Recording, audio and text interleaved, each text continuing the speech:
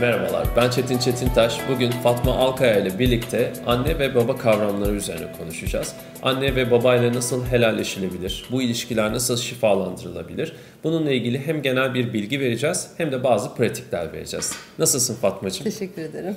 Öncelikle olarak anne nedir? Anne e, kişiyi buraya doğuran. Peki baba çok, nedir? Çok basit. Baba da o doğumun olmasını sağlayan, Çocuk. irade sahibi. Çocuk da o iki bireyin te- birbiriyle teması sonucu ortaya çıkan ürün. Birçok öğretinin içinde anne ve babayla helalleşmek vardır. Ve burada çok önemli bir ayrıntı var. Bizlerin çocuk olarak anne ve babalardan helallik alması gerekir. Peki neden helallik almamız gerekir? Ee, öncelikle anne baba kavramına çıkıp da bir insan olarak baktığımızda kendi yaşamımızda ellerimizle oluşturduğumuz her şey ve ürettiğimiz her şey üzerinde nasıl bir doygunluğa ermek isteriz, nasıl ondan razı olmak isteriz. İşte şimdi oldu gibi bir memnuniyet duymak istersek bunun ruhsal boyutlarda da razı olmak kavramı kendi boyutlarıyla şeyi var, ilgisi var. Ee, bu kişi olarak çıkıp anne babaya döndüğünde de olay tabii ki kendi çocuğundan razı olmak ya da olmamak gibi makam sahibi olan, hak sahibi olan kişi o oluyor bizim üst boyutumuz olarak. Çocuk diye baktığımızda da bizim durduğumuz yere bizim işimiz onlara hakkımızı helal etmek etmemek değil. Anne babanın haddimiz haddimiz anne babanın ölçme mesela onları tarifleme, onlara not verme gibi hakkımız ve haddimiz yok. Yani alt birimin üst birime böyle bir haddi yok. Dolayısıyla bizim onları helal etmemiz gibi değil, bizim tam tersi onların rızasını kazanmak gibi bir yerimiz var. Burada da çok önemli bir nokta var aslında. Tam tersini yapmaya kalktığımızda yani sanki onlar bize hakkını helal edecek değil de biz onlara hakkımızı Aynen. helal edecekmiş gibi davrandığımızda aslında kendi hayatımıza sıkıntı yaratmaya başlıyoruz. Kendi hayatımızda blokajlar ortaya çıkmaya başlıyoruz. Kendi hayatımızda dertler ortaya çıkıyor değil mi? Biraz da bunu Kesinlikle. Yani birçok e, yine başlıkta incelenebilir ama en basitinden anne ve babanın temsil ettiği yerler kişinin Rahman Rahim olan alanları ama aynı zamanda akıl ve duygu boyutları ve aynıyla bunların yaşamdaki yansımaları irade ve kuvvet kullandığımız her şey baba prensipleriyle ilgili yaşamda enerji üretim gücü dediğimiz dişil olan bütün formlarla anneyle ilgili. Dolayısıyla hani bunlarla ilgili bir e, şey gibi rıza onların bize rızasızlığı, bizlerin onlara yargılama, etiket veya herhangi bir şekilde oradaki tıkanmış olan sevgi e, işleyişi bize geri dönüşü tamamen yaşamın her alanında ilgili bütün boyutlarda. somutu da bahsedelim istersen. Aynen. Somutta da annenin kas ve hormonlar olması. Aynen. Beden olarak baktığımızda şimdi dedik ya akıl ve duygu. Akıl ve duygunun aşağıya inerken ya da eril dişil özelliklerimizin beden üzerinde aşağı inerken temsil ettiği yer bedendeki baba tarafı kemik sistemi omurga. Anne ile ilgili olan da kaslar ve hormonlar ve Evet. sıvılar. Şimdi burada anne ve babayla yaşanılan sorunların içerisinde aslında kişi kendi bedeniyle de sorun yaşıyor. Evet. Bu kişi de anneyle yaşadığı sorunlarda dişil enerji olarak hayatındaki dişil enerji konularında da ortaya çıkabilir. Kadın veya erkek fark etmeksizin. Evet. Çünkü anneden bir dişil enerji, babadan bir eril enerji alarak Aynen. dünyaya geliyoruz. Veya vücudumuzda babayla yaşadığımız sorunlardan dolayı kemikte veya omurgada ortaya çıkan hastalıklar da olabilir. Yani aslında burada yaptığımız, yaşadığımız sorunlar neyse bunları kendi üzerimizde yaşıyoruz. Bundan dolayı bu ilişkiye gelen şifa aslında kendi hayatımıza gelen şifa. Kesinlikle. Peki nasıl helalleşilebilir? E, nasıl rızaları kazanılabilir diyelim. Öncelikle şimdi burada anne ya da baba nasıl modeller olursa olsun bizim durduğumuz yerden biziz ya bunu duymak, yönelmek ve hani bu bilgilerle muhatap olup tekrar e, yapmamız gereken bizim çocuk olduğumuzu hatırlamak her şeyden önce. Onlar bize hatırlatır hatırlatmaz orası tamamen konu dışı. Çünkü e, bazen anne baba yaşıyor, bazen görüşülüyor, bazen görüşülmüyor, bazen yaşamıyor dediğimiz birçok kalıp var ya. Mevzu burada anne ve babamız var. Kimse annesiz babasız değil yaşamda o anlamda mutlak e, tarafa bakarsa. Dolayısıyla onların makamları doğrultusunda ve yaşamdaki varoluş olmayışlarına göre davranış biçimiyle ilk önce gönlümüzde hatırlamamız lazım her şeyden. Yani yaşamı bize hediye etmiş bir adamdan ve kadından bahsediyoruz ki burada en büyük şey bilmiyorum bunları hani tekrar tekrar başka konularda konuştuk diye hatırlıyorum. Yaşamda babadan gelen şey yedi atanın yedi göbekte yaşamış bütün insanların yaşayarak işlediği bilgi. Dolayısıyla kocaman bir sermayeden bahsediyoruz. Anne aynı şekilde e, bizim onların rızasını kazanma biçimimiz bunu hatırladıktan sonra da fiziksel dünyadaki aksiyonlar. Eğer yaşamıyor ya da bir, bin bir türlü sebep varsa beden üzerinde çalışabiliriz. Yani fiziksel beden üzerinden öncelikle bir disiplin uygulayarak bedenine hatırlatma yolla ilgili boyutları e, çalışmalarını ve akışını düzenleyebiliriz ki işte asana olabilir, Evet. fitness olabilir, Pilates pilates olabilir. olabilir, yüzme olabilir gibi tamamen fizik üzerinde çalışmak ama artı anne babaya ulaşma şansımız varsa da çocuk olduğumuzu hatırlamak üzere onların kapısını çalmak. Yani çocuk olduğunu hatırlamak senin ona yönelme. Çünkü hep işte çalışmalarda da görüyoruz büyükler duruyor, çocuklar gider dediğimiz yerde. Gidip yönelecek olan kişi biziz ve yöneldiğimiz zaman da yine yetmiyor hatırlamak. Aslında çok pratik. Anneden kendin için bir şey iste. Anneden mesela sevdiğim bir yemeği iste. Evet tıpkı çocukluğunda seni Evet. doyurması gibi Aynen. yine doyurup senin çocuk makamına geri dönmen Aynen. ve tekrar çocuk makamına uyumlanman ve Aynen. annenin de tekrar anne makamına Hatırlaması, uyumlanması ve hat- uyumlanması. evet hatırlaması. Çünkü bilinçaltı zaten öyle temsili hareketlerle ve eşyalarla çalışıyor. ya da bir şeyini Ee, yıkamasını iste. Aynen. Ondan seni beslediği noktasını yemek vesilesiyle hatırlamak, bilinçaltını hatırlatmak aynı şekilde de onun gönlüne benden bir şey isteyebiliyor. Yani Ya da çok basit sabah seni uyandırmasını isteyebilirsin. Evet. Anne yarın sabah önemli bir işim var atıyorum saat 8'de beni uyandırır mısın? Bana Aynen. telefon eder misin? Gibi. Hani burada Aynen. çok ufak ödevlerle aslında Aynen. kendinize verebileceğiniz şeylerle çocukluk makamını ve annenin de annelik makamını yeniden hatırlayabilirsiniz. Aynen. Bu anlamda istemek, ruhsal ya da duygusal beslenmeni sağlayacak herhangi bir araç. Babaya dönüyorum. Babada da babada irade ve kuvvet e, noktası vardır ya bir çocuk olduğunda yapamadığın şeyi ona yaptırırsın. Taşıyamadığın şeyi o taşır gibi hani dediğim ya da e, bu tarz işte akılla ilgili alanlarda çözümleyemediğin şeyi gidip babana sorarsın. O cevaplardı cevaplamazdı o ayrı hani çocukken. Ama s- yöneliş biçimi çocuğun üzerinde olduğu için bu sorumluluk aynı şekilde yaşamda sıkıştığın bir konuyla ilgili fikrini sorabilirsin.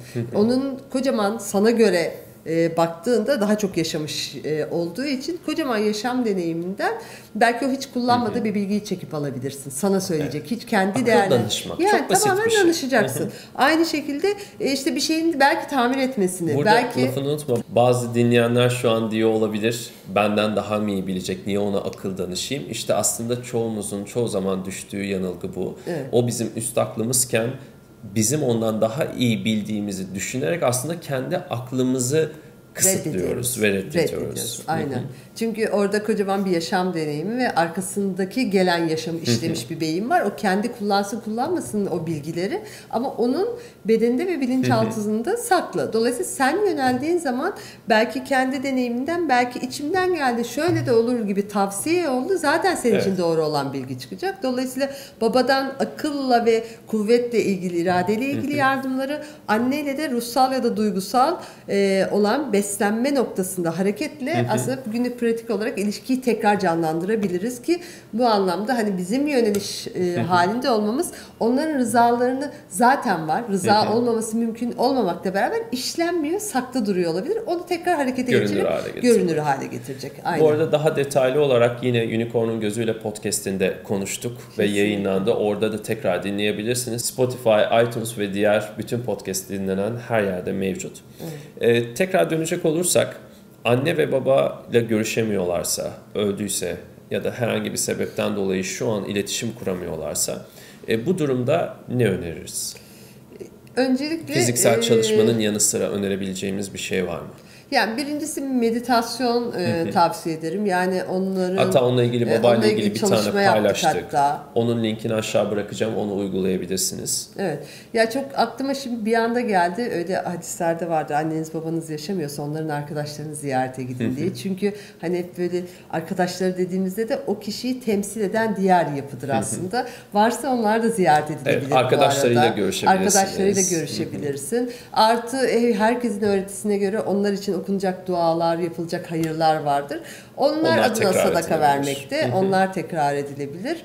Ee, hiçbir şekilde gerçekten e, görüşme imkanı yok ya da belki de hani yaşıyorlar ama kesinti noktasındaysa da işte onlar da bir kere olanın hayrını görmek üzere bir çalışma yapabilirler ki bu ne demek?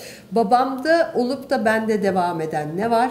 E, veya annemde. Aynı şekilde onlarda olmayan çünkü kullanmayıp çeyiz sandığı diyorum ben. Bazen bazı özelliklerimizi kullanmayıp çeyiz sandığında tutmak gibi bizden sonraki çocuklarımızı kullanıp ve onların Evet. çeyizini hazırlamış oluyoruz. Onların kullanmayıp da çeyiz sandığına attığı ve benim şu anda yaşamda kullandığım ne var diye bununla ilgili gerçekten yani oturup düşünebilirdi ama yazarak da e, bunu keşfedebilirler. Artılar eksiler Evet. şeklinde. Şimdi çok bunu önemli bir konuya gireceğiz. Ee, bu biraz dinleyen kişiler için de açık bir konu. Açık bir konu olduğu için biraz daha kalpten dinlemeye özen gösterin ve bunun sonucunda da bu konuşmanın sonucunda da her şeyde bir hayır vardır'a geleceğiz ve aslında anne ve babayla ilişki bozuk olduğunda hayatımızda neler tıkanır, nasıl blokajlar yaşarız biraz bunlar üzerinden de kısaca bahsedeceğiz.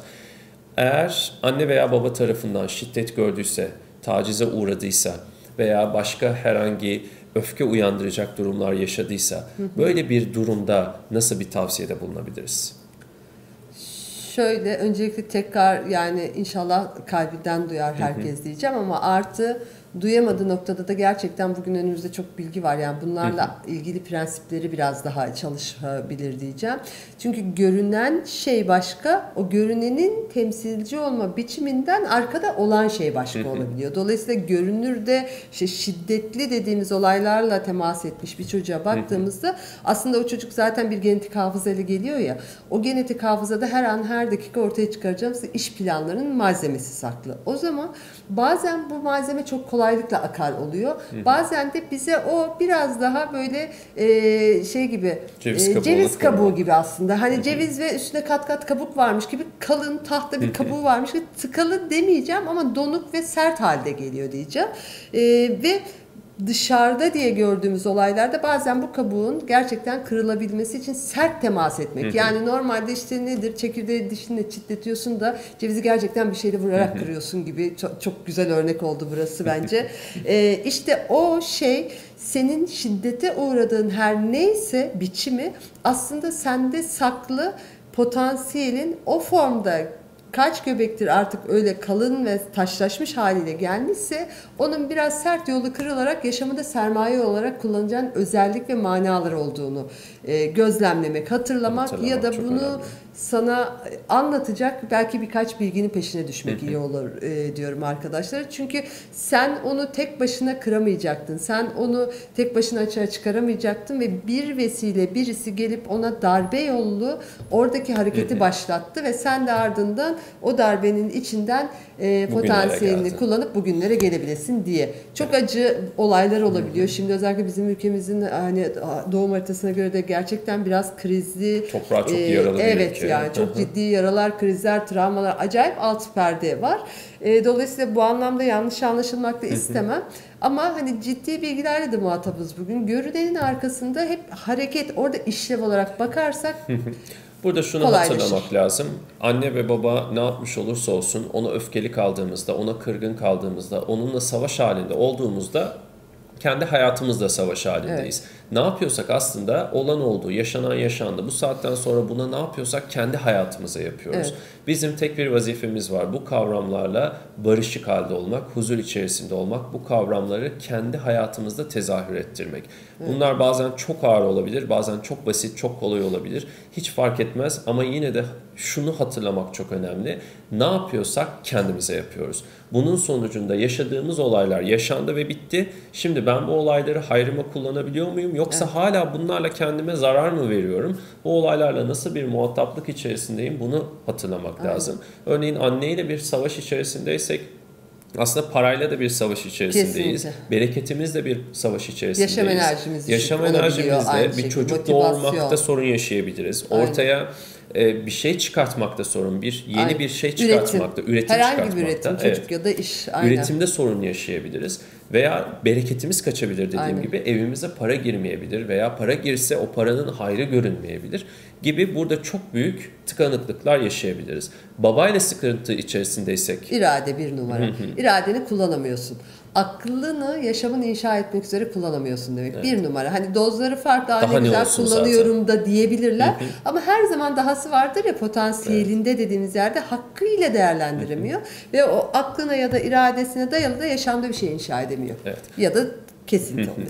Bu kesintilerin yaşanmaması için yaşadığınız ne varsa yaşandı, oldu artık yapabilecek hiçbir şey yok. Benim şimdi bunun üzerinden hayatımı yeniden planlamam Gelenle lazım. ne yapıyoruz? Evet, gelenle ne yapabilirim? Kendi hayatının kahramanı olmak demek bu demek. Elimde çamur da varsa, altın da varsa bunu kullanarak kendi yaşamımı inşa etmek demek.